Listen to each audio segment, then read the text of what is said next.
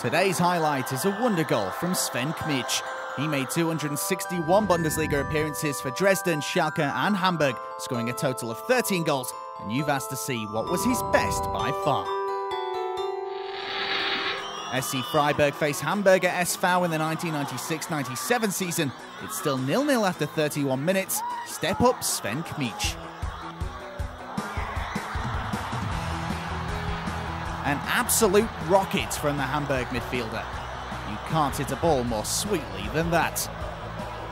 It's also paved the way for a 4-0 victory for HSV against Freiburg and was no doubt the most spectacular goal of Kmetsch's career.